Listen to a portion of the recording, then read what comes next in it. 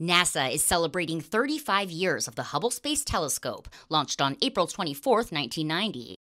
Hubble remains one of the most productive scientific instruments in history, with over 1.6 million observations. To mark the anniversary, NASA released stunning new images of space, including views of the Rosette Nebula, a planetary nebula, a flocculent spiral galaxy, and highly detailed images of Mars.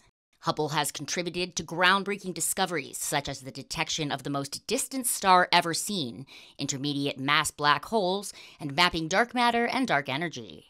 Working in tandem with the newer James Webb Space Telescope, Hubble continues to provide critical insights using ultraviolet and visible light, while Webb focuses on the infrared spectrum. Together, they help scientists better understand galaxy formation, starbirth, and the universe's expansion. Despite being 35 years old, Hubble is still in excellent technical shape, thanks to past servicing missions and ongoing expert monitoring.